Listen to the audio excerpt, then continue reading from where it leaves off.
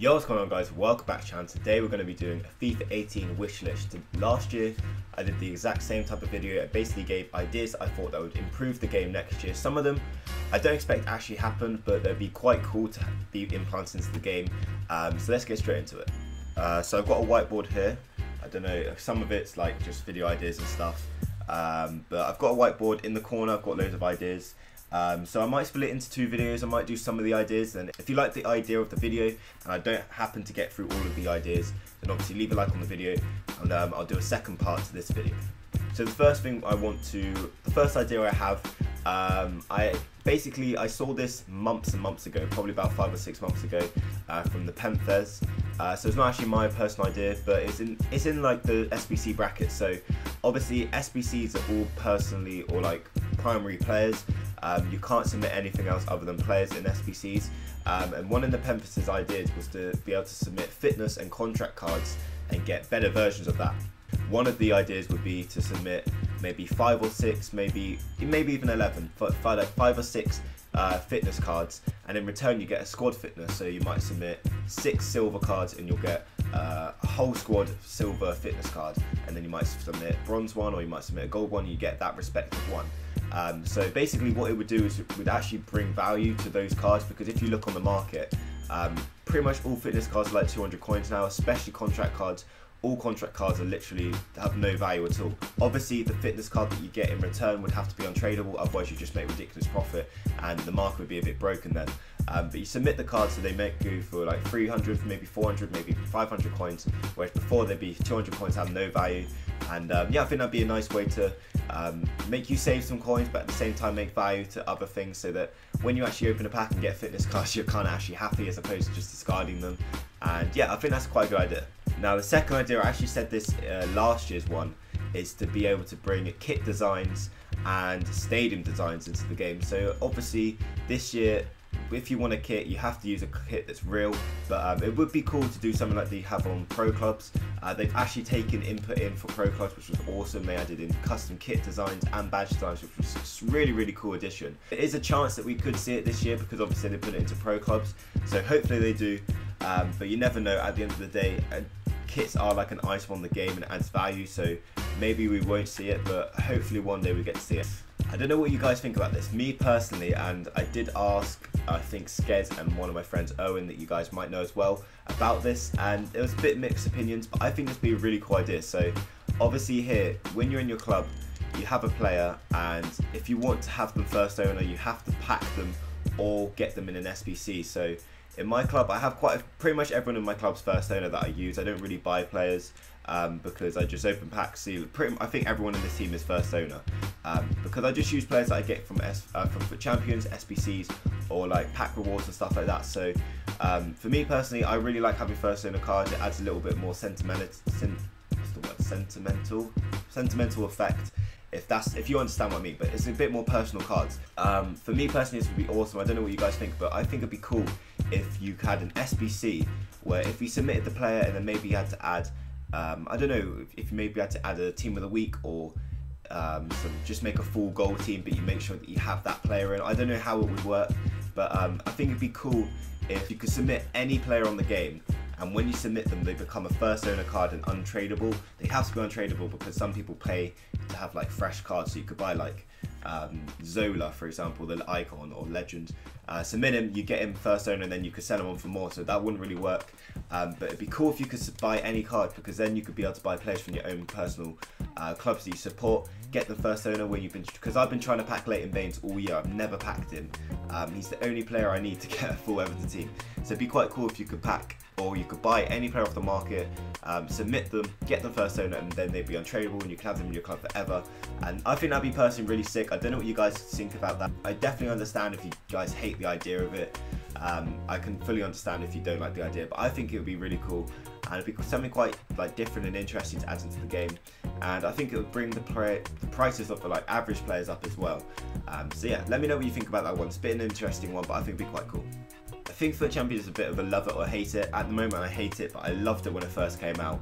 And it was a really, really good game mode. I think the the problem is you have to commit so heavily to it because even my friends, I've got a lot of friends on my um, list that I used to play it every single like weekend and there is still quite a few people playing it to be fair, but no one really completes it. Like um, Joe, if he's one of my subscribers, he might be watching the video now. He used to get elite every single week. I'm assuming he stopped at 21 wins because he just couldn't be bothered anymore. Um, Cameron used to be getting gold as well. So yeah, I just couldn't can't really be bothered to play it anymore. And it's because it's, you have to play so many games. So it'd be cool if they either extended the weekend league, so maybe it started on Thursday, ended on Tuesday, um, or if they decrease the amount of games you have to play, or make it a weekday league, or something. Just they changed it somehow to make it more playable for the average person. Because realistically, unless you're absolutely sweating it every weekend, you can't really compete in the weekend league. Um, and at the time, I was like, during last year, I was happy to give up every single weekend because it was literally giving up every single weekend to play all 40 games. Um, but I just can't, it's just, you can't do it anymore because you have so many things going on and if you're working it's just so hard it's just not it's not fun anymore it's more it became more sweaty than fun uh, so hopefully they change it slightly um, I don't know what they'll do but something has to be done to make it more playable for the average person. Got to do two last ideas because I've been recording for about 10 minutes and I don't want this video to be too long. Um, so my last two ideas are, uh, the first one is draft. So draft used to be so sick this year, I don't think it was actually touched really. I, would be surprised um, I, if like the number of people playing draft was more than half of what it was last year. But uh, so if we go on draft, I'm not going to actually start one, but um, 15k and the 300 points, I think that's fine. The price you enter is fine, but they need to make the value or the rewards of draft a lot higher because draft is just not that fun anymore because you can play it, you can win all four, is it? I think it's four games. You can win all four of your games and lose money, which is just it's just bullshit. Like you shouldn't have to. You can't do any better than that. So at the moment you bought your draft, regardless of how you performed.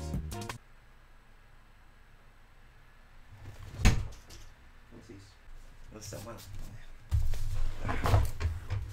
So yeah, at the moment you bought your draft at 15k, before you even started building it, you were destined to lose money, in theory, um, which is just not fair in my opinion. So I think they have to have, they have like two options. So they either give you a guaranteed coin bonus every single time you win the draft, whether it's 5k, 10k, or 15k to cover the cost of the draft, or they just give you a draft token back if you win it. Just something so that you guarantee make your money back every time you do the draft because it's not fair that you can go in. Some people get knocked out first round, pack like Messi. That happened to me. I went out in the first round, packed Messi in a 5k pack last year.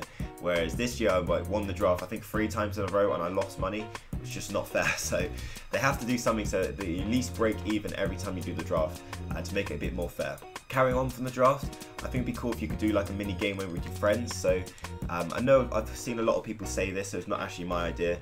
Um, but it'd be cool if you could go into friendly seasons, play a game load up, and you could do like a draft with your friends. and maybe you take turns, or maybe you just build it together and you can get into a game or something like that. But I think it'd be quite cool. Don't know if you'd have to pay for it. Maybe you have to, um, which would kind of be I don't know a bit dodgy, but.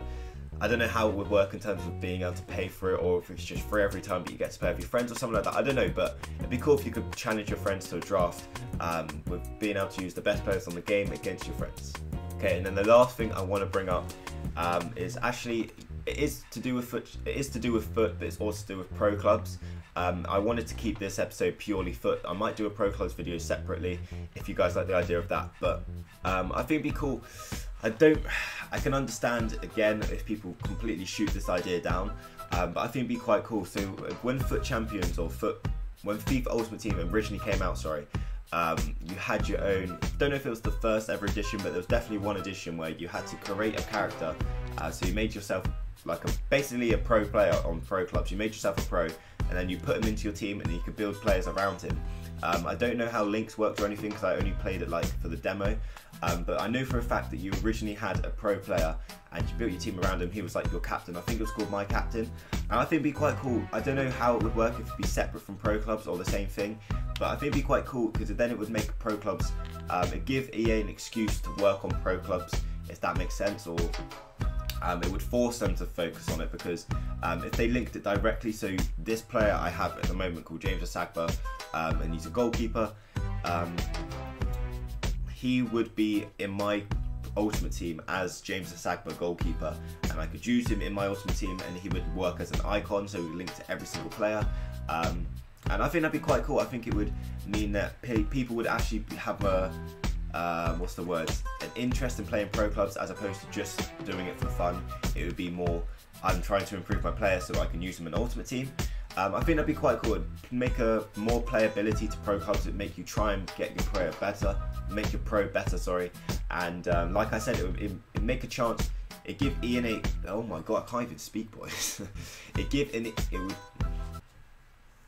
it would give EA, an excuse to work on the game, make Pro Clubs better because there's so much they could do. This could easily be the best game mode on the game, hands down in my opinion, because it's so, so fun. But there's just not enough to do to make it replayable. One, which is obviously I'll save for another video, but I think it'd be quite a cool addition to the game. Don't know what you guys think about it, but I personally think it'd be a cool addition.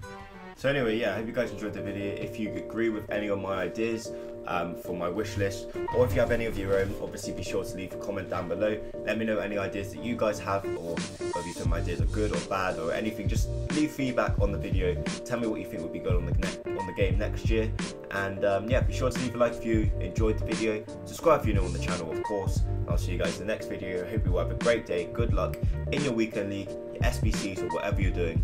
And yeah, a great day and